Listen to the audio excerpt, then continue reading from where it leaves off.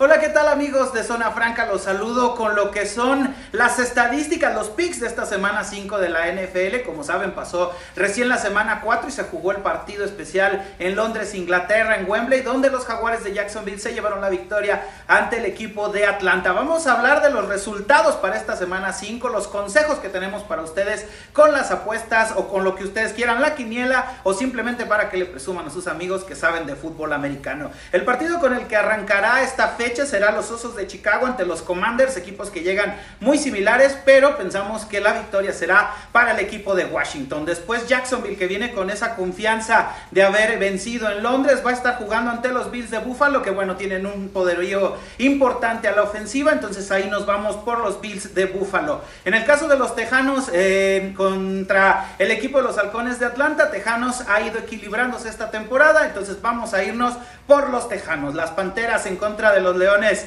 de Detroit. Detroit ha tenido un muy buen arranque esta temporada. De hecho, inició ganando este 2023. Entonces nos vamos a ir por los Leones de Detroit. En el caso de los Titanes de Tennessee enfrentando al equipo de Indianapolis, un partido que llega parejo, que cualquiera de los dos equipos se lo puede llevar. Y como bueno, como los Colts me caen mal, nos vamos a ir con los Titanes de Tennessee. También Nueva York que estará enfrentando a los Delfines de Miami. En este caso, bueno, los Delfines llegan como favoritos porque tienen una poderosa ofensiva también entonces nos vamos a ir con el equipo de Miami. En el enfrentamiento de los Santos de Nueva Orleans contra los Patriotas de Nueva Inglaterra, pues los dos equipos están de lágrima, pero nos vamos a ir por los Santos de Nueva Orleans porque los Patriotas de plano esta temporada no han hecho nada. En el caso de los Baltimore Ravens van a estar enfrentando a los Pittsburgh Steelers con todo el dolor de mi corazón porque soy Steeler, yo creo que este partido se lo va a llevar el equipo de Baltimore. En el caso de los Bengalíes en contra de los Cardenales de Arizona, Cardenales dio una sorpresa con Vaqueros, pero no va a poder seguramente con el equipo de Cincinnati. Entonces nos vamos por el equipo de la conferencia americana, que es Cincinnati.